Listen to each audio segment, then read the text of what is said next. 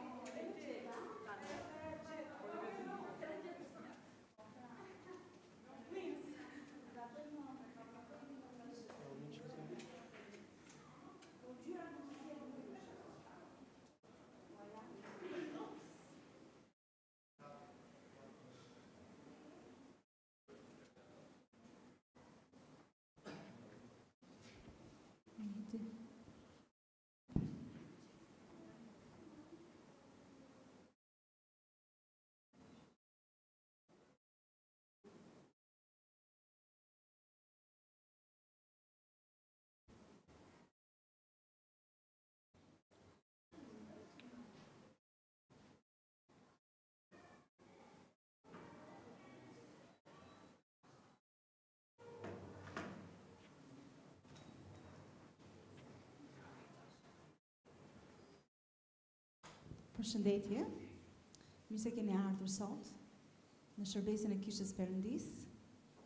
është një ditë e bukur, gjithë diell, Dhe është shumë bukur që një ditë të bukur të vazhdojmë ta mbajmë të bukur, duke adhuruar Perëndinë edhe duke i dhënë zemrën Atij, duke i dhënë mendjen tonë dhe vullnetin tonë ndaj fjalës së Tij. Kohët e fundit kam qenë duke u takuar me njerëz, sikurse u hapën shtëpiat edhe punërat edhe njerëzit kanë filluar të dalin dhe kam qenë duke u takuar me njerëz të cilët në në morinë e fjalëve kanë shprehur gjithashtu edhe faktin që ë një nga efektet që ka pasur të qenurit brenda është që ndonjëherë disa herë në fakt kanë nxjerrë jo më të mirën tonë. Sepse të qenurit mbyllur për një kohë të gjatë, izolimi, nxit tek ne padurimin, nxit tek ne nervozizmin, të cilat shfaqen qoftë me irritime, me një fjalë më tepër apo me sjellje ndoshta jo aq të përshtatshme që ndonjëherë nuk janë në të përditshmen tonë, por na kanë nxjerrë nga vetvetja. Edhe në momentin që ti pret më shumë mirëkuptim, më shumë dashuri, më shumë tolerancë nga njerëzit më të afërt, nga ata nuk e ke në fakt, sepse edhe ata janë gjendur në të njëjtën fustrim dhe të njëjtën um, ndikim. Dhe normal, ndoshta është krijuar një çik, mm, ca marrëdhënie të të vështira dhe të ngurta. Dhe ndodh që zhgënjehemi, zhgënjehemi nga njerëzit që i kemi më afër, nga ata që presim më shumë ne zhgënjehemi. Nga ata që them presim mirëkuptimin, zhgënjehemi dhe themi pse nuk më jep më shumë hir, pse nuk më jep më shumë dashuri. E pra kështu jemi të gjithë, ndonëse ne presim nga të tjerët, po jam e sigurt që ne kemi zhgënjyer të tjerë dhe kemi lënë mangët, jemi të mangët në dhënien e dashurisë, në dhënien e mirësisë ndaj të tjerëve. E megjithatë na duhet një strehë, na duhet një vend ku të ndihemi të, të dashur pa kushte, ku të ndihemi që jemi vetvetja, ashtu siç jemi. Mateu 12 na jep këtë, Jezusi vetë, ishte në kulmin e shërbesës së tij, turmat e ndiqnin, po bënte të mira, Po ndante fjalën e perëndisë po shëronte të verbër po ngrinte në këmbë të çalë e megjithatë përveçse farisenjve dhe skribëve të cilët i vinin edhe i thonin e provokonin në shërbesën e tij tek Mateu dymbëdhjetë në vargjet e fundit vargjet dyzet e gjashtë dhe dyzet e nëntë na tregon që edhe familja e tij vjen për ta takuar por jo vetëm jo për ta inkurajuar në shërbesë por për t'i thënë hej Djalë i mbarë, të ka dalë nami për keq, ule një çikë ritmin. Tamam aty ku ne presim, ata që ne presim të na mbështesin tërësisht, në fakt uh, janë dhe ata njerëz, dhe ata na lënë poshtë. Nuk i pres, nuk i përmbushin pritshmëritë tona. Por përgjigja na jepet tek uh, fjala që Jezusi i thotë, ndërsa shtrin dorën e vet drejt dishepujve dhe thotë, "Ja nëna ime dhe ja vëllezërit e mi, ja motrat e mia." Sido që të keni ardhur sot, Çfarëdo që t'ju ketë lënduar gjatë javës apo gjatë muajit, ju jeni pjesë e familjes së Jezusit. Jezusi ju, krah ju krahason dhe ju thërret, ja nëna ime, ju jeni vëllezërit e mi, ju jeni motrat e mia. Dhe ai është një vëlla i tillë dhe një zot i tillë që asnjëherë nuk na lë në baltë. Ai është një familjar i tillë, një fam, pjesë e familjes tonë që asnjëherë nuk na braktis. Po gjithmonë ka mendimin më të mirë. Kemi reputacionin më të mirë tek ai. Ai shikon të mirën tek sjellja jonë, tek zemra jonë. Na shikon thellë, na shikon motivin e zemrës. dhe na zgjedh të na thërrasë nënë, vëlla dhe motër. Kështu që sot unë ju inkurajoj që keni ardhur sot. Nuk keni ardhur thjesht në një ndërtesë, por keni ardhur në familjen e Krishtit. Kështu që të gjithë jo vetëm jemi vëllezër dhe motra me njëri-tjetrin, por jemi vëllezër dhe motra të Krishtit. Dhe ai mezi pret të dëgjojë nga ty sot. Të dëgjojë adhurimin tënd, të dëgjojë lutjen tënde dhe mezi pret të të japë. Të të japë dashurinë e tij pa kushte. Kështu që unë ju ftoj sot të ngrihemi në këmbë për një lutje për t'ia dhënë atij zemrën, mendjen tonë, vullnetin tonë për t'ia nënshtruar Krishtit. Perëndi i shenjtë, Ati i plotfuqishëm, Krisht, që ke dhënë sakrificën tënde dhe frymë e shenjtë si ngushëllues. Jemi mirënjohës që jemi pjesë e familjes. Jemi mirënjohës që ti na ke thirrur bij, o Atë, që ti na ke thirrur vëllezër e motër e nën o Krisht, dhe që Frymë e Shenjtë, ti zgjedh të banosh brenda nesh. Prandaj sot ne vijmë me zemër të hapur, me mendje të hapur dhe e nënshtrojmë vullnetin tënd, Perëndi, ndaj fjalës tënde. E nënshtrojmë vullnetin tonë, Perëndi, ndaj frymës tënde.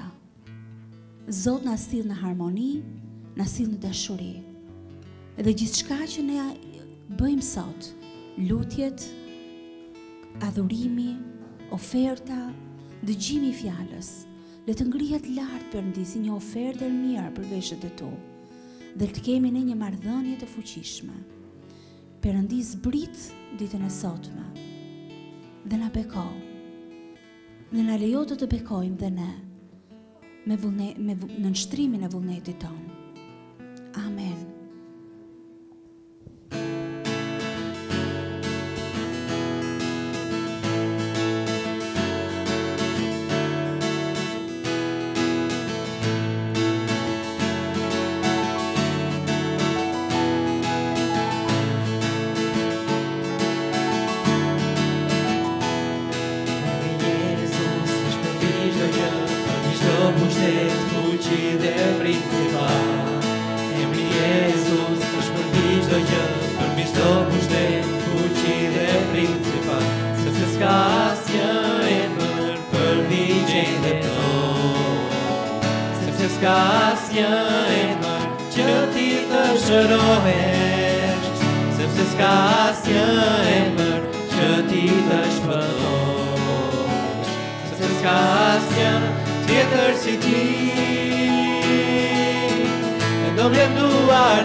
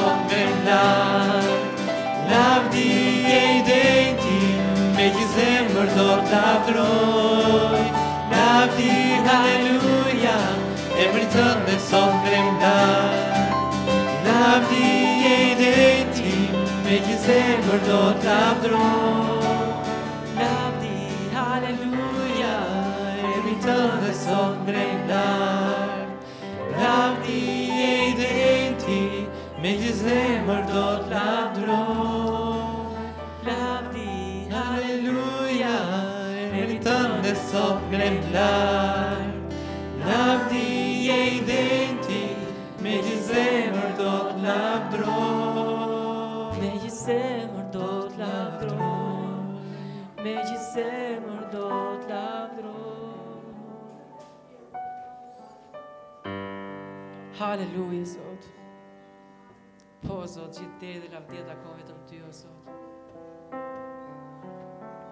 Dhe gjithçka që neve jemi Zot, dhe kemi Zot, është prej teje Zot. Haleluja, gjithë lavdia të takon ty o Zot. Për gjithçka që neve bëjmë o Zot. Haleluja Zot.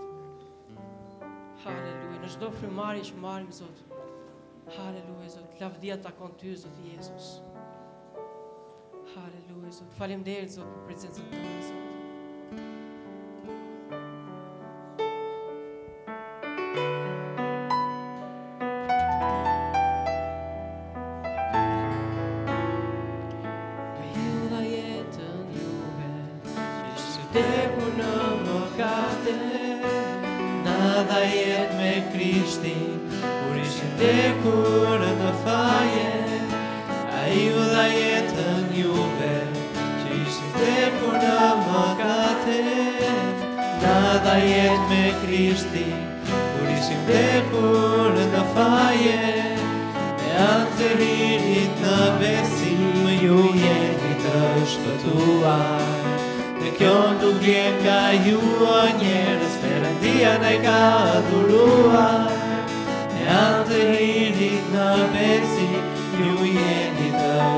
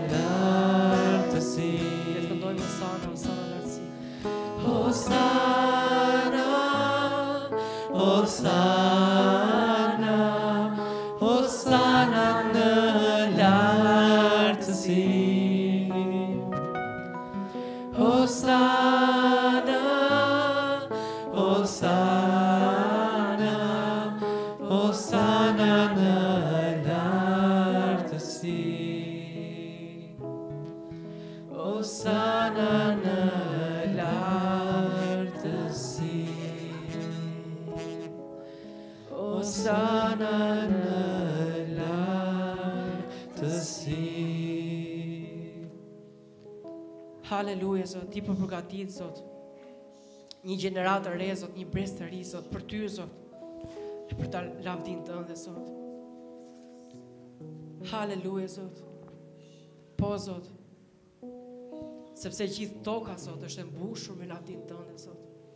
Dhe ti, o Zot, Perëndi, do ta shfaqësh lavdinë tënde, Zot, nëpërmjet bijve të tu, Zot, dhe bijave të tu, Zot. Po o Zot, ti do ta derdhësh frymën tënde, Zot. Haleluja, Zot.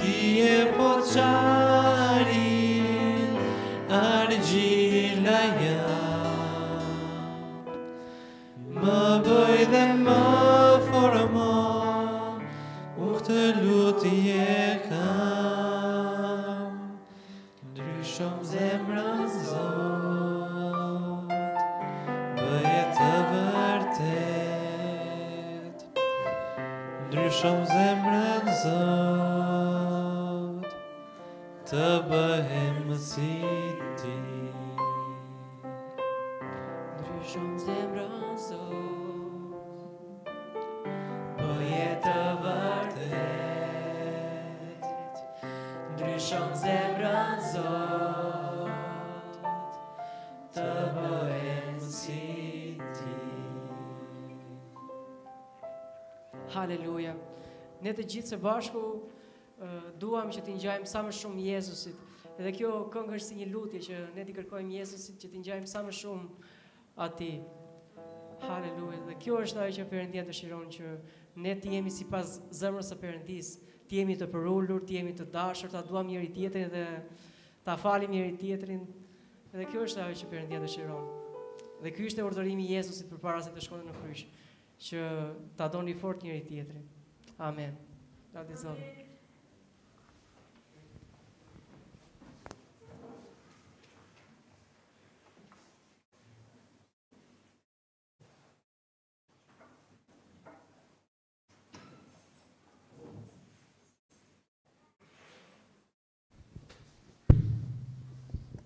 Haleluja, lavdi Zotit. Çfarë bekim që jemi bashkë, mund ta adhurojmë Zotin bashkë, një zemër, një zë, një mendje. Faktikisht është kohë e çuditshme. Shoh rrotull Jo vetëm gjërat që Sedika ndau në hapje të takimit, shoh një pasiguri shumë të madhe. Edhe duke biseduar me stafin në punë, edhe me njerëzit që kam rrotull, shoh një pasiguri në drejtimin që ti nuk vendos dot. Dhe ti nuk e di çfarë do ndodhë nesër, ti nuk e di çfarë mund të ndodhë muajin tjetër, unë nuk e di se si do shkojë biznesi im, unë nuk e di se si ta bëj, ta bëj këtë udhëtimin apo jo, ta bëj këtë planin apo jo. Ta bëj këtë investimin këtu apo jo, të guxoj ta marr këtë hap apo jo, sepse mbyllet një ditë bukur edhe gjërat duket sikur shkojnë për poshtë. Ku është siguria jonë si bij të Perëndisë? A është tek rrethanat që na rrethojnë apo është tek Perëndia shumë i lartë? Unë do doja që sytë tanë, sidomos në këtë kohë, ku jam e sigurt që faturat janë shtuar, ku jam e sigurt që gjërat nuk janë siç do të ishin, siç do donim ne të ishin, por ne jemi bij të shumë të Lartit. Dhe jam e bindur që Ati ka më të mirën për ne. Te Mateu, Jezusi na inkurajon. Mos u shqetësoni pra duke thënë çfarë do të hamë ose çfarë do të pimë ose me çfarë do të vishemi. Sepse paganët kërkojnë të gjitha këto. Ati juaj qiellor pra e di mirë se ju i keni nevojë për këto të gjitha. Por para së gjithash kërkoni mbretërinë e Perëndisë dhe drejtësinë e Tij dhe të gjitha këto do t'ju shtohen. Mos u shqetësoni pra për të nesërmen, sepse e nesërmja do të shqetësohet vetë për vete, secilës ditë i mjafton e keqja e vet. A po e bëjmë Perëndinë pjesë të financave tona? Apo jemi shumë mirë këtu, nuk kemi nevojë për mendtë e Zotit. I bëjmë vetë planet. A e kemi bërë Perëndinë Zot edhe të financave tona? Si? Duke ia dorëzuar atij çdo lloj situate, ngushtice. Dua t'ju inkurajoj fort, besoni. Dhe Perëndia hap dyert. Qëndrojini atij besnik në atë që atij i përket, në ofertën dhe në të dhjetën. Fjala e Zotit thotë, Sillini ofertat tuaja në shtëpinë e thesarit, që të ketë ushqim në shpinë time. Që do të thotë, ne më shumë se sa kurrë, të parët më shumë se kushdo, duhet të jemi ata që duhet të mbjellim me besim në mbretërinë e Zotit, që aq më tepër në këto kohë, Ungjilli i Perëndisë të vazhdojë të përparohet edhe në zonat ku nuk ka shkuar kurrë. Amen. Ejani të sillni atë që keni përgatitur në zemrën tuaj.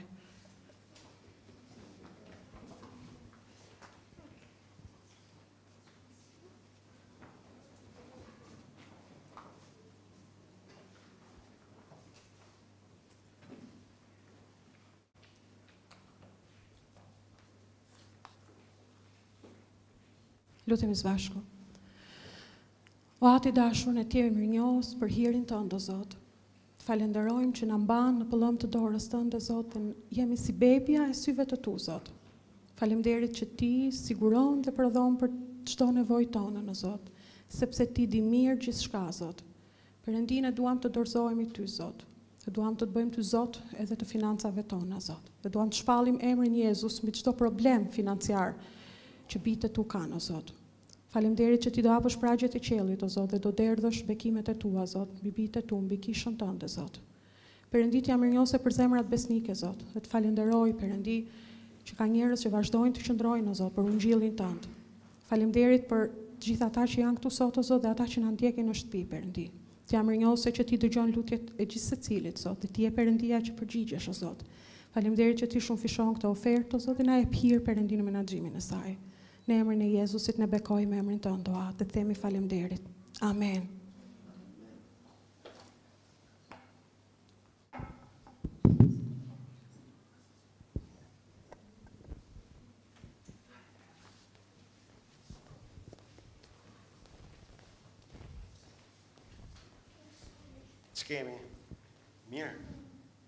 Shkolla ka mbaruar. Haleluja. Keni kaluar të gjithë klasën. Ça bekimi i madh. Jeni shumë të lumtur tani.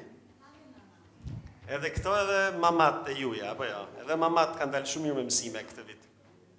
Le të lutemi. Zot Perëndi, ne të falënderojmë ditën e sotme për fëmijët tanë, për shëndetin e tyre, Zot Perëndi. që ti i mbron dhe ti kujdesesh për ta. Sidomos në këtë kohë sfidash zot Perëndi, ti je shërimi, ti je mbrojtja e tyre. Në emër të Jezusit unë lutem dhe i bekoj që ato të të, të njohin ty gjatë orës së mësimit zot Perëndi, se si ti je në të vërtetë. Të të njohin ty dhe të qëndrojnë në besimin shpëtues tek ty. Në emër të Krishtit lutemi. Amen. Amen.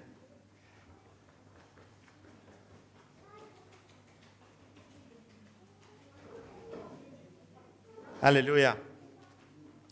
Në predikimin e sotëm, dua të dua ta bazoj tek një nga pyetjet më të mëdha që neve shikojmë tek Bibla dhe një nga përgjigjet më të mëdha që neve shikojmë tek Bibla. Dhe çuditërisht Sa mirë që Bibla na jep, domethënë, bëhen pyetjet por na jep përgjigjet tek i njëjti vend.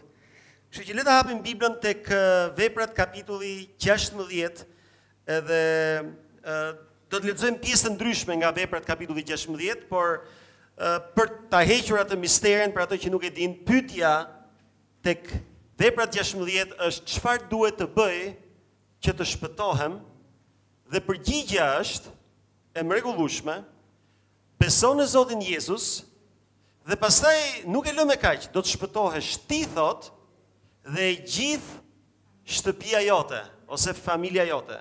Dakord, kështu që edhe një herë do e përsëris.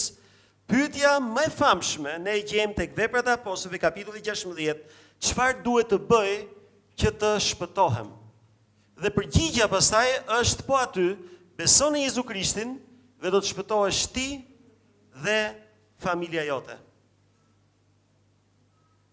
Në fakt, kjo histori neve për të vendosur pak kontekst mbi historinë, kjo histori na vjen neve në udhëtimin misionar të Palit dhe të Silës, ata donin të shkonin në Azi dhe ndërkohë që donin të shkonin në Azi, Bibla thotë që fryma e shenjtë i pengoi për të shkuar atje. I pengoi për të shkuar atje dhe thotë shikon Pali një ëndërr, tek ëndrra shikon një njeri nga Maqedonia i thërret dhe i thotë, ejani dhe na ndihmoni në Maqedoni. Pastaj historia bëhet shumë e bukur. Ata shkojnë në Maqedoni, takohen aty, fillojnë të predikojnë Ungjillin, njerëz shpëtohen dhe një person në veçanti shpëtohet me emrin Lidia, një grua me emrin Lidia. Bibla thotë që Pali dhe Sila e lexova disa herë, thotë që Pali dhe Sila i predikonin grave, me sa duket gratë ishin kudo në botë, domethënë gratë janë shumë më të hapura për për të marrë ungjillin, për ta besuar ungjillin. Kishat në fakt janë të mbushura më shumë me me gra dhe motra se sa me burra. Jo se kjo është gjë e mirë, domethënë, por është e mirë për gratë dhe për motrat, dakord? Edhe Bibla pastaj na thotë neve që Lidia Jo vetëm që e pranon ungjillin, e beson ungjillin, por hap shtëpinë e saj dhe të gjithë njerëzit e shtëpisë së saj besojnë në ungjillin dhe pagëzohet edhe Lidia, pagëzohen edhe ata. Një varg që është interesant këtu tek tek kapitulli 16 pra, vargu 10 thotë ata pra Pali dhe Sila, edhe Timoteu ishte me ta, Pali dhe Sila ishin të bindur Që Zoti na kishte thirrur t'ua shpallim atyre Ungjillin. Pra, qëllimi kryesor që këto po shkonin në Maqedoni ishte për të shpallur Ungjillin. Dakord? Dëgjon Lidia, beson, shpëtohet, e çon Ungjillin, hap dyert e shtëpisë së saj, e çon Ungjillin tek shtëpia e saj, besojnë të gjithë, edhe ata shpëtohen, pagëzohen, edhe është një mrekulli e madhe. Pastaj Pali me Silën janë duke, mendoj që edhe Ata. Pali me Silën ishin duke ungjillizuar rreth e përqark në një qytet të Maqedonisë dhe Bibla që një fallxhore, një shërbëtore me zotërit e saj që ishte fallxhore, kishte një frymë falli, i ndiqte nga pas. Dhe kur i ndiqte nga pas, i flet këtyre edhe i thonte të gjithë njerëzve të tjerë që këto janë shërbëtorët e Perëndisë, këto janë shërbëtorët e Perëndisë. Pra diçka që ishte vërtet. Por Bibla thotë që ndërsa kjo po i ndiqte nga pas, megjithëse po thonte të vërtetën, Pali rëndohet në frymë, thuhet. Dhe duke u rënduar në frymë mbas ditësh e ditësh e ditësh, i rënduar në frymë, sepse qëllimi i tyre ishte për të predikuar Ungjillin dhe ndoshta kishte një pengesë, i rënduar do të thotë ishin të rënduar, nuk po e bënin atë gjë me lirinë e duhur. rënduar në frymë i drejtohet kësaj dhe qorton frymën e lig edhe i thotë të urdhëroj në emër të Jezusit të jesh e lirë. Gruaja lirohet, çlirohet dhe patjetër beson në Jezusin, por zotërinjtë e saj mërziten jashtëzakonisht shumë sepse Bibla thotë që në atë moment që asaj i iku fryma e fallit, nuk shtinte dot më fall, kështu që ata nuk mund të fitonin dot nëpërmjet saj. Dhe për shkak se nuk përfitonin dot nëpërmjet saj, krijojnë një turmë, i mbledhin turmën kundër atyre, flasin keq për Palin dhe Silën, thonë këto po na sjellin neve një fe të re, po na sjellin një fe të rreme, kjo nuk është ligji romak e të gjitha këto me radhë, pra krijojnë një situatë dhe në bazë të kësaj situate, Bibla thotë që turma i rrethon, njerëzit e ligjit gjithashtu i kapin, i rrahin, i zhdëpin në dru dhe pastaj historia vazhdon. Si i rrahën me shumë goditje, vargu njëzet e tre, si i rrahën me shumë goditje, i futën në burg dhe urdhëruan rojtarët e burgut t'i ruajë me kujdes. Rojtarin e burgut, vini re sepse ky person është është kyç, është personi që bën pyetjen më të mrekullueshme që mund të bësh. Çfarë duhet të bëj të shpëtohem? Ky ishte rojtari i burgut. Rojtarit të burgut pra i thonë t'i ruajë me kujdes. Ky i mori si i mori një urdhër të tillë, i futi në pjesën më të brendshme të burgut dhe ua shtrëngoi këmbët në dru. Vini re pra, kemi një histori shumë të bukur, Kemi një histori në të cilën fryma i thotë mos shkoni në Azi, por shkoni në Maqedoni për të predikuar Ungjillin. Kemi një sukses të parë, kemi një çlirim nga demoni dhe pastaj kemi një histori e cila duket zhgënjyese. Ato kanë shkuar për të ndarë Ungjillin, kanë shkuar me një thirrje të jashtëzakonshme që thotë që ejani na ndihmoni në Maqedoni. Pra do të thotë që ka nevojë në Maqedoni Dhe pastaj thuhet që shkojnë në vendin më të thellë të burgut, dhe jo vetëm që shkojnë në qelinë më të thellë të burgut, por aty në qelinë më të thellë të burgut i lidhin edhe këmbët në dru. Duket sikur ë uh, Ungjilli u mbyll. Ungjilli u burgos. Mirëpo, Pali me Silën nuk i shikojnë gjërat siç mund t'i shikojë njeriu në formën njerëzore. Edhe këtu thuhet që nga mesnata, ndoshta ato deri në mesnatë kanë vuajtur një çikë, kanë thënë of e of sepse i ka dhimbur trupi e kurrizi e të gjitha këto me radhë, por pastaj thuhet, aty nga mesnata, Pali dhe Sila po luteshin dhe i këndonin himne Perëndisë dhe të burgosurit i dëgjonin.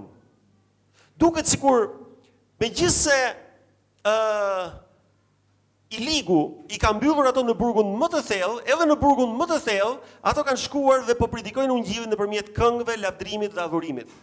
Dakord? Në vendin më të thellë. Të burgosurit i dëgjonin.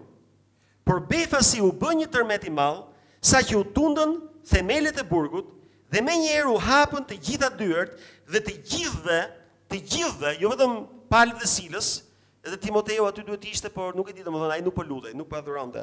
Këto të dy përmenden. Të gjithëve iu zgjidhën prangat.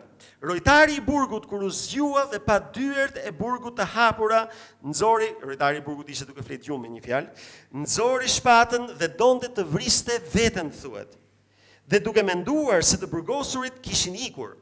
Por Pali thirri me zë të lartë duke i thënë, Mos i bëj ndonjë gjë të keqe vetes, sepse të gjithë, pra jo vetëm Pali Sila, por të gjithë të tjerët nuk ishin larguar, të gjithë jemi këtu. Një gjë që mua më bën të mendoj përse të gjithë ishin aty, se mirë Pali dhe Sila, po këto të tjerët që duhet të kishin qenë tek uh, qelia më e thellë e burgut duhet të kishin qenë kriminelë, dakord? Kështu që kur ti ke mundësinë të lirohesh edhe të hikësh, mund të hikësh, por ato nuk hikën. Bibla thotë që të gjithë jemi këtu. Përse? Kjo është pyetja që neve duhet të meditojmë pak për të analizuar pasazhin edhe si të thuash të analizojmë dhe të kuptojmë edhe gjërat që nuk thuhen në këtë pasazh, por që janë mbrapa tekstit. Por Pali dhe Sila, pra Pali i thotë, mos i bëj ndonjë gjë të keqe vetes sepse të gjithë jemi këtu. Atëherë ai kërkoi dritë. U turr brenda dhe duke u dridhur i tëri, u ra ndër këmbë Palit dhe Silës. Pastaj i priu jashtë edhe i tha, Zotërinj, çfarë duhet të bëj që të shpëtohem? Dhe ata i thanë, Beso në Zotin Jezu Krisht dhe do të shpëtohesh ti dhe shtëpia jote. Tani, mbajeni mend këtë pasazhin ti dhe shtëpia jote, sepse është goxha e diskutuar. Pastaj ata i folën fjalën e Zotit, atij dhe të gjithë atyre që ishin në shtëpinë e tij, vini re, atij dhe të gjithë atyre që ishin në shtëpinë e tij, kjo është shumë e ngjashme me historinë që ndodhi me Lidian, pra i njëjti mision, shkuan i predikuan Lidias, Lidia beson dhe pastaj i predikuan Lidias dhe shtëpisë së Lidias. Dhe ai i nxori në atë orë të natës dhe u lau plagët, dhe ai dhe të gjithë të tijtë u pagëzuan menjëherë. Dhe si i ngjiti në shtëpinë e tij, ua shtroi tryezën dhe u ngazëllua me të gjithë të shtëpisë së tij. Vini re, shtëpia e tij, shtëpia e tij, shtëpia e tij përsëritet herë pas here. U ngazëlluan me të gjithë të shtëpisë së tij që kishin besuar në Perëndinë. Atëherë, le të shkojmë tek pyetja e rëndësishme. Përse është kjo pyetje e rëndësishme? Domethënë, a ka mundësi neve të futemi pak në, si të thuash, në, në vend të rojtarit të burgut, të gardianit të burgut, edhe t'i bëjmë pyetje vetes tonë, çfarë i shkonte në mend gardianit kur bëri një pyetje të tillë? Dakord, sepse të jesh gardian burgu duhet të kishte bërë, domethënë, duhet të kishte bërë pyetje të tjera. Domethënë, nuk e di, një nga pyetjet që mund të kishte bërë do ishte kush e hapi derën e burgut. Sepse kjo ishte puna e tij, dakord? Ai shkoi i frikësuar, ai shkoi i trembur. Kush e hapi derën e burgut? Dakord? Një pyetje tjetër që ai mund të bënte mund të ishte pyetja, ë, përse nuk u arratisët juve të tjerët? Përse nuk u arratisët? Ë, një pyetje tjetër mund të ishte kujt t'ia vë fajin tani, domethënë që u hap dera e burgut dhe njerëzit po ikin. Domethënë, mund të kishte shumë pyetje për të bërë, por pyetja që ai bën është si çfarë duhet të bëj zotërinj që unë të shpëtohem. Edhe një pyetje e tillë na çon neve në përfundimin e parë që gardiani i burgut ka kuptuar që ka Zot. Ka Perëndi. Sepse ai bën një lidhje të kontekstit midis çfarë Pali dhe Sila me me akuzën që Pali dhe Sila kanë. Dakord? Ë tek akuza ishte që kanë kanë çliruar një person i cili po shpallte për ato që këto janë shërbëtorë të Perëndisë së gjallë. Kur ishin brenda në burg janë duke lavdëruar dhe duke adhuruar Perëndinë, ndërkohë që ato kanë ngrënë dru sa janë shqepur, janë duke lavdëruar dhe duke adhuruar Perëndinë. Pra, diçka është ndryshe me këta persona. Këto persona kanë një forcë të veçantë. Dhe pastaj bie një tërmet dhe dyert e burgut hapen dhe njerëzit nuk janë larguar jashtë, por janë duke ndejtur me ta. Me siguri janë duke ndejtur dhe janë duke dëgjuar ata. Dakord? Domethënë duhet të ketë Zot. Kjo është ndoshta përgjigjja e parë që ai ka në mendjen e vet ose dijenia e parë që ka në mendjen e vet. Sepse nuk bëri një pyetje të kontekstit fizik, por bëri një pyetje të kontekstit frymëror, ça duhet të bëj që të shpëtohem? Edhe nuk ishte një pyetje që po thonte ça duhet të bëj që të shpëtohem nga shefat e mi, sepse të burgosurit ishin aty akoma. Por po i bën një pyetje çfarë duhet të bëj unë që të shpëtohem, sepse me siguri ky zot i ka çliruar, ata ishin duke lavdëruar Zotin, ata ishin duke adhuruar Zotin. Kjo është e para që neve mund të identifikojmë. E dyta që neve mund të identifikojmë është që ë ka shpëtim. Pra ka Perëndi. Por e dyta është që ka shpëtim. Sa herë që neve kuptojmë që jemi në një situatë të vështirë të jetës tonë, dakord? Ë uh, jemi në një situatë të pashpresë të jetës tonë, pyetja që njerëzit bëjnë është a ka apo nuk ka shpëtim. Ke një sëmundje të keqe? A ka apo jo shërim doktor? Apo jo? Je në një situatë vështirë? A ka apo nuk ka shpëtim? Por ky, në fakt, thotë që çfarë duhet të bëj që unë të shpëtohem, që do të thotë, ky ka kuptuar që ka shpëtim. Që do të thotë që ky ka dëgjuar mesazhin dhe mesazhi po i thotë atij që ka një Zot, Dhe në qoftë se ka një Zot, i cili po kujdeset për të tijët, atëherë çfarë duhet të bëj edhe unë? Me fjalë të tjera, ka shpëtim dhe jeta që unë po jetoj, puna që unë kam, dakord, ai ishte gardiani i burgut, kishte një punë, kishte një rrogë, kishte një përgjegjësi, ë mund t'i bërtiste ca personave, dakord, nuk është se ishte shefi i madh, drejtori i burgut, po të paktën disa personave mund t'i bërtiste, mund t'i lidhte këmbët, kishte një lloj pushteti ky person, dakord?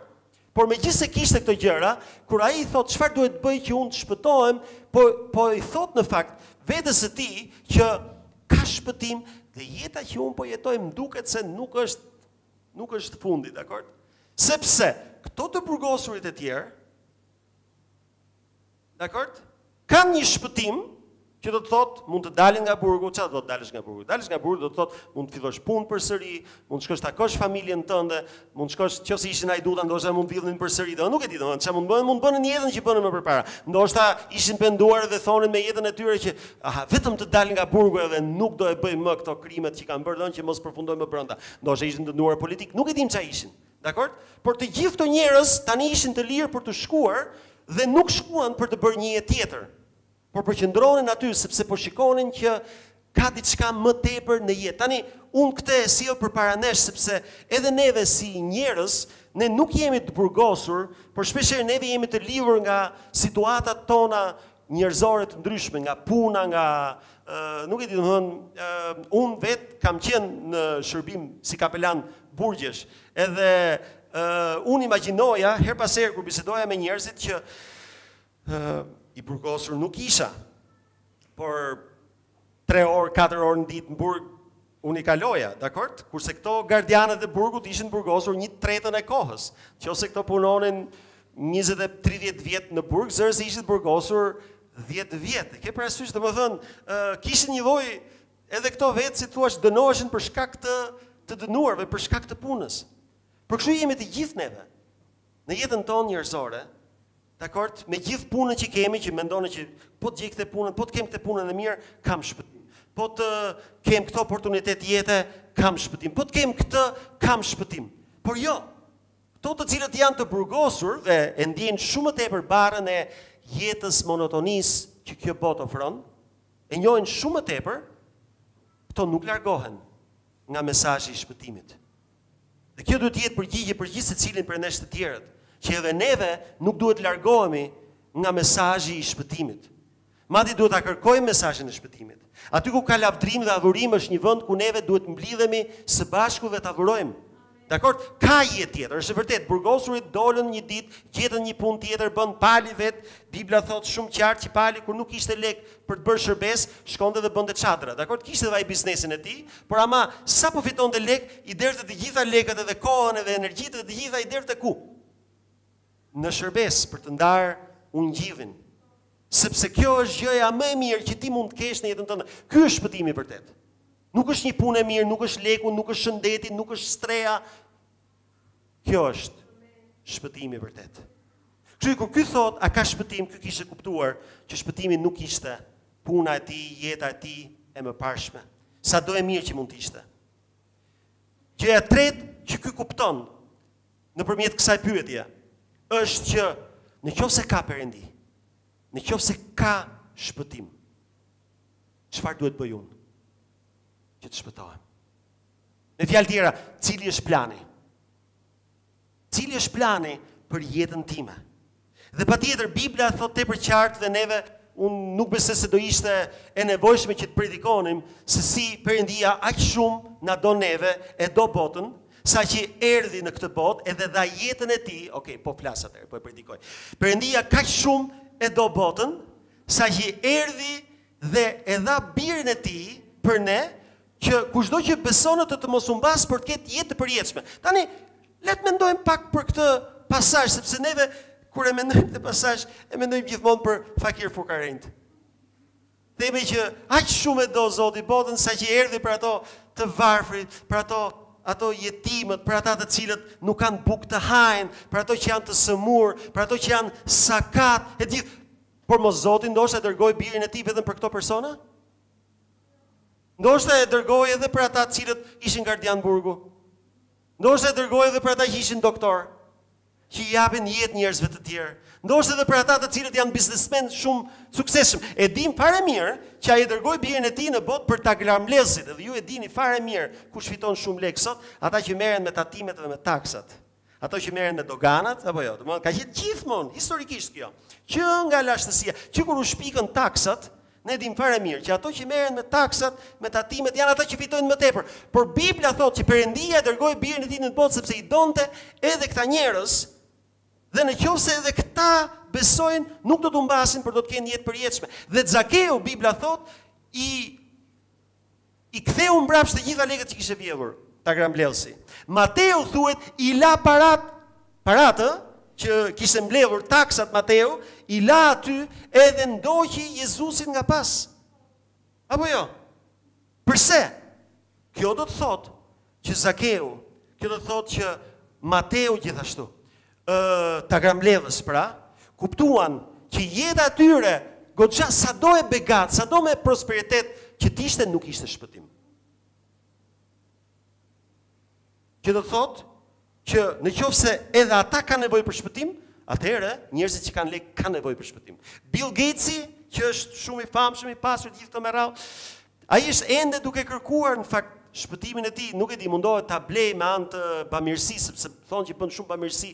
Ka shumë teori konspiracione gjithashtu që po lexojmë tani gjatë Covidit dhe kështu me radhë, por çfarë neve Çfarë neve zbulojmë është që kur Perëndia deshi botën dhe dha birin e tij, nuk e dha vetëm për fakir fukarenjtë, por e dha edhe për mbretërit, e dha edhe për presidentët, e dha edhe për politikanët, e dha për të gjithë. Që do të thotë që edhe këta njerëz që duket sikur i kanë të gjitha të mirat në jetën e tyre, nuk kanë shpëtim akoma. Gardiani i burgut kuptoi diçka të tillë. Tani neve si kishë, gjithashtu duhet të kuptojmë diçka të tillë, sepse ne si kishë nganjëherë kemi arritur tek shpëtimi, por pastaj mbasi arrijmë tek shpëtimi kthehemi tek jeta jonë e mëparshme. Dakord? Në qoftë se presidentët kanë nevojë për shpëtim, ne kemi nevojë për shpëtim gjithashtu. Edhe ka një plan. Plani ishte tepër i qartë. Ai tha, "Ç'a duhet bëj atëherë? Cili është plani?" Edhe ato i thanë, "Plani është ky. Beso në Jezu Krishtin dhe do shpëtosh ti edhe e gjithë familja jote." Pra, jo vetëm ti, por e gjithë familja jote. Tani se si shpëtohet familja jote, do shkojmë shumë shpejt. Por shpëtohesh ti, është e para. Te plani është të shpëtohesh ti. Po shpëtove ti, është fillimi i shpëtimit të të gjithë familjes tënde. Po u shpëtove ti? Ky është plani. Dhe si mund ta bes, si mund ta kuptojmë neve këtë fjalën besim? Tani fjala besim ka goxha shumë. Besim është është si mund ta themi neve besimi? Keni parasysh këto uh, ushtarakët, këto detarët, marincat, të cilët janë në ato anijet e mëdhaja domethënë edhe janë duke nuk e di, shkojnë bëjnë ato praktikat e ndryshme, jo se ka luftë, domthon shumicën e kohës nuk ka luftë, nuk ka beteja, por ama e kanë anijen në mënyrë që në qoftë luftanijen, që në qoftë se ndodh ndonjë luftë, ata mund të hidhen në veprim. Edhe dini se çfarë bëjnë ushtarët, marincat gjatë gjithë kohës? Çfarë bëjnë gjatë gjithë kohës? Stërviten. Edhe dini se si stërviten? Ke anija e madhe tek luftanija, ato kanë disa anije të vogla. Dakord? Në mënyrë që në qoftë se bie predha tek anija e madhe, këto duhet të hypin tek anijet e vogla për të shpëtuar. Dakord? Edhe herë pas here bie alarmi. Dhe kur bie alarmi, të gjithë hidhen sikur të ndodhte me të vërtetë. Të gjithë hidhen tek varka e shpëtimit, edhe e hedhin varkën e shpëtimit në ujë në mënyrë që të largohen nga anija e madhe. E bëjnë këtë praktikë vazhdimisht. Kjo duhet të jetë mënyra jonë se si neve praktikojmë besimin tonë. Nuk themi do ta besoj Zotin vetëm kur të ë uh, vetëm kur t'i bi predha anijes, dakord? Nuk thonë vetëm kur të vi fundi i botës ose kur të m'vi fundi im, domethënë do besoj ke Jezusi.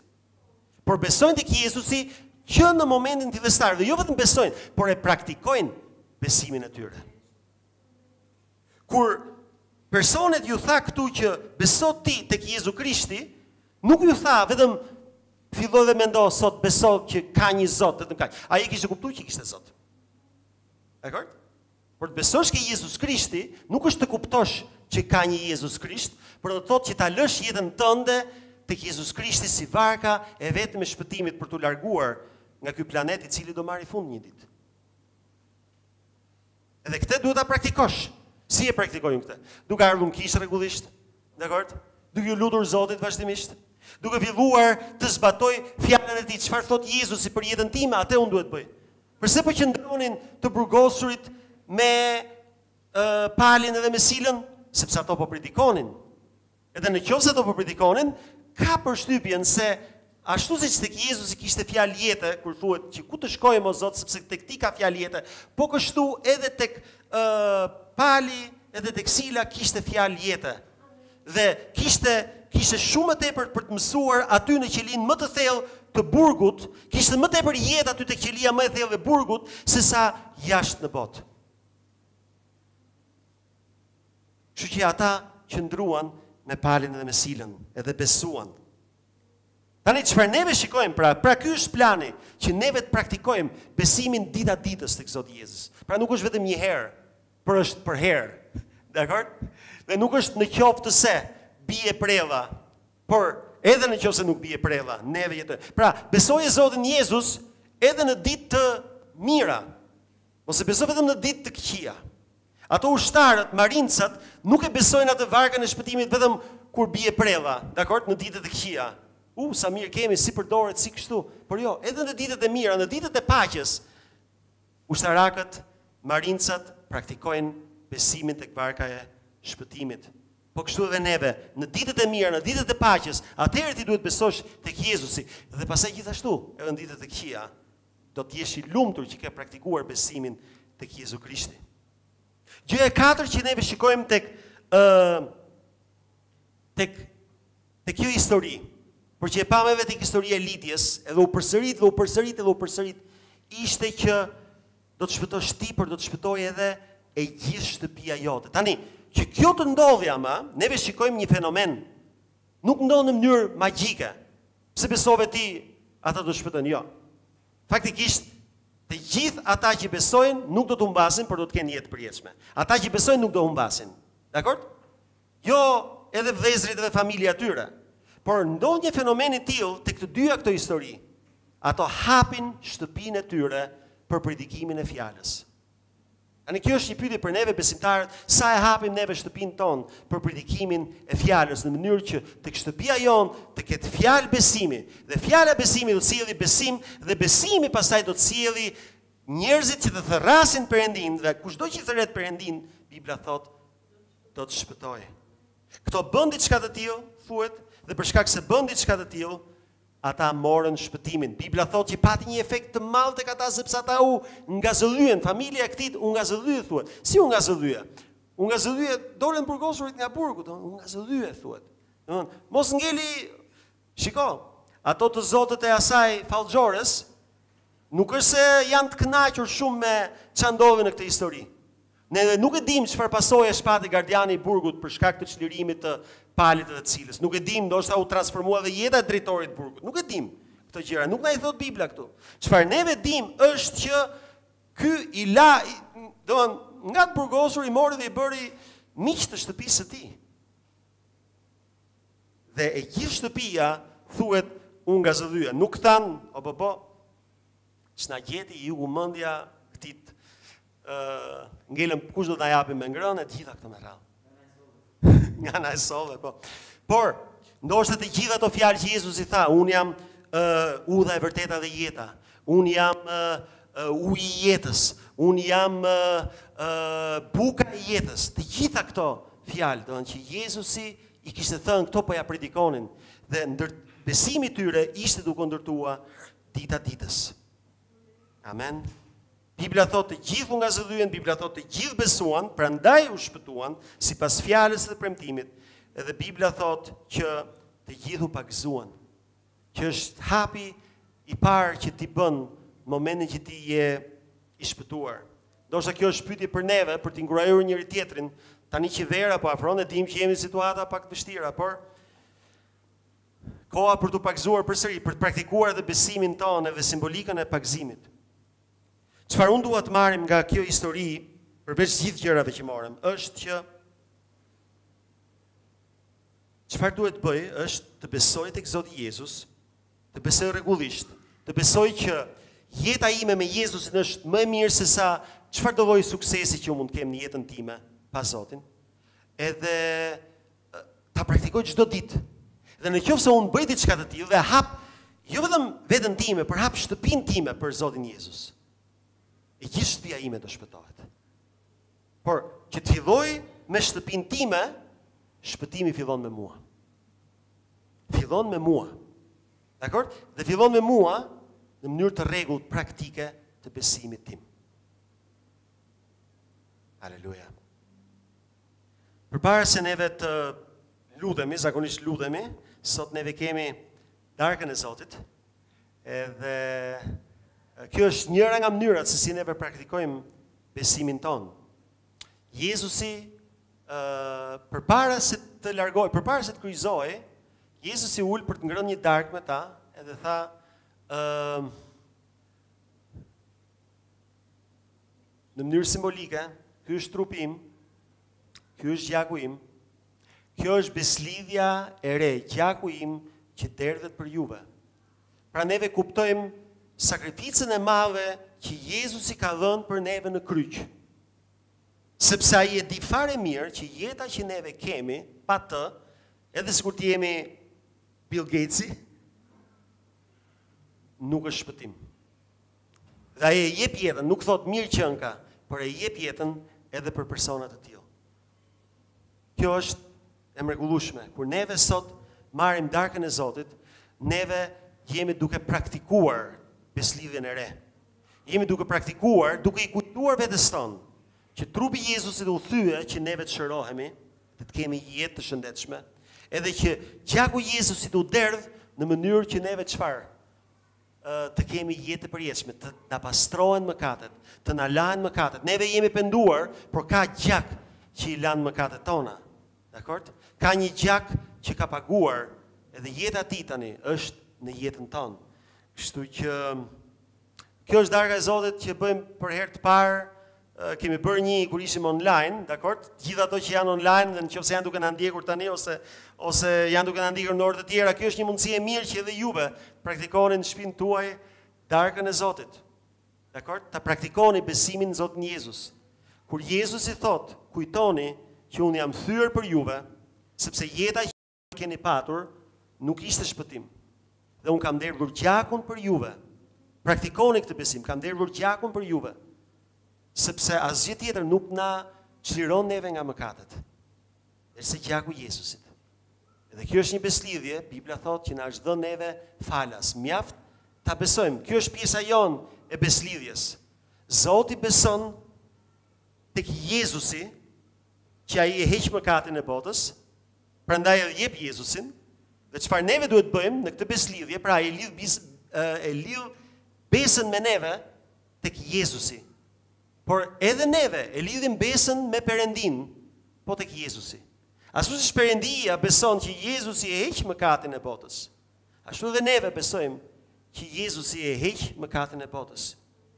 Dhe në mënyrë simbolike, neve ia tregojmë Zotit, ja Zot, Ne po bëjmë beslidhjen me ty. Ne po e e rifreskojmë, po e e rikujtojmë këtë beslidhje me ty. Kështu që gjatë kësaj kohe le të fillojmë të meditojmë. Ta adhurojmë Zotin, po.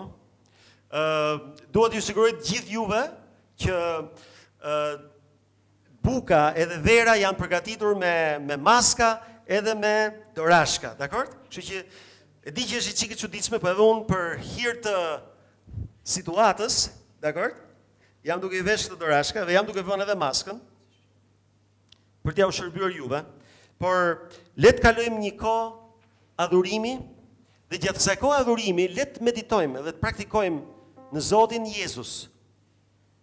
që ka shpëtim, edhe që shpëtimi është për të gjithë ata, të cilët në jetën e tyre, pra, shumë, shumë e thellë kjo, mos mendoni që ajo jetë që neve kemi është shpëtimi, vetëm Zoti Jezus është shpëtimi. Amen? Kështu që në qoftë se neve kemi pendim në jetën tonë, sepse kemi bërë idhujtari, nuk e kemi vendosur Jezusin të parë, nuk kemi praktikuar besimin tonë tek Jezusi. Le të pendohemi sot.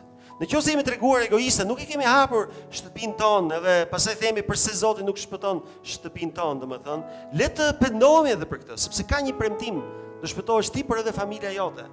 Dakord? Dhe në qoftë se ë uh, neve i bëjmë këto gjëra, le të le të themi çfarë i jep forcë, çfarë i dha forcë Palit edhe Silës për të bërë për të ndarë ungjillin, edhe kur ishin në gropën më të thellë. Ishte fryma e shenjtë. Kështu që le të kërkojmë frymën e shenjtë. Jemi në kohën që kemi predikuar për pagëzimin e frymës, fuqizimin e frymës, frymën e shenjtë.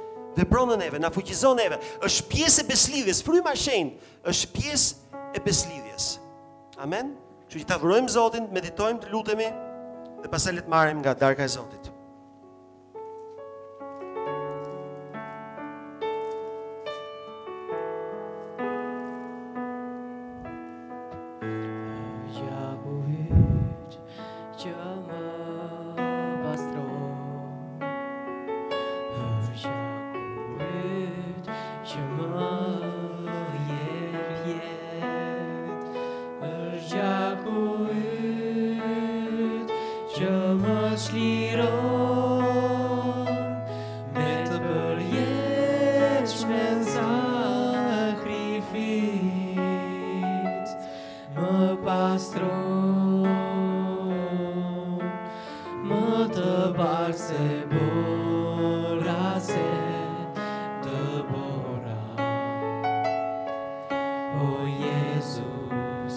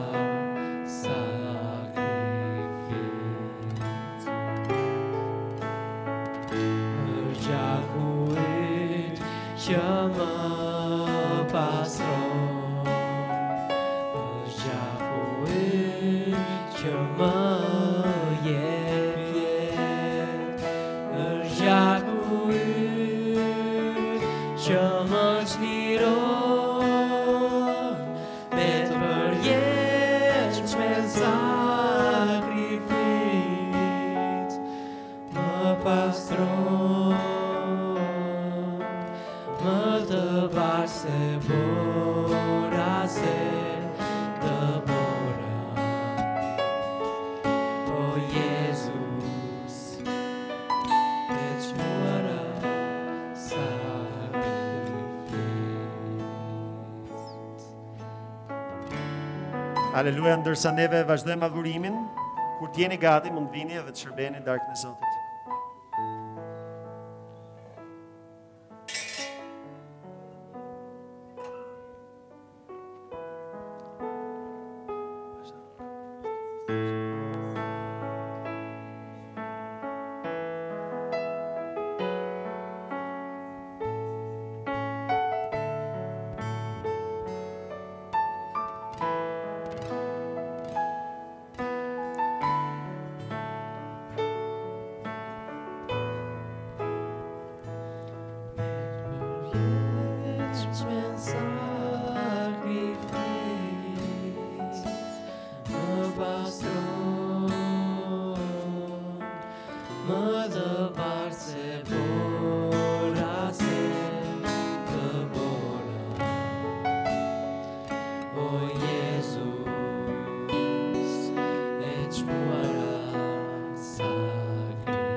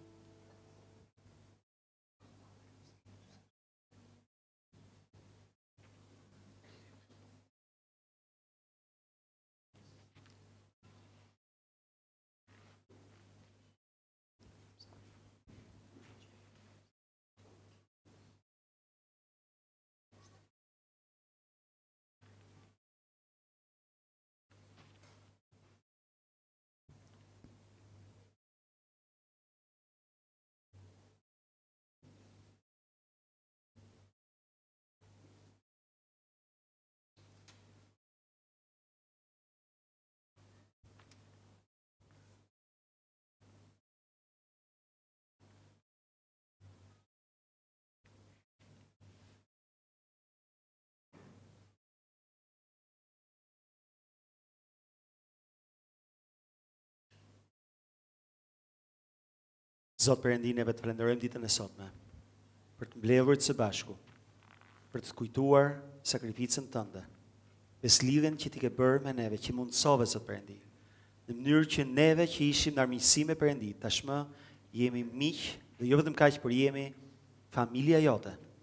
Na ke ftuar të jemi pjesë e familjes tënde, bij edhe bija të tu. Zot Perendi, një dashuri të tillë të madhe, neve kurrë nuk do ta arrijmë ta kuptojmë, Zot Perendi.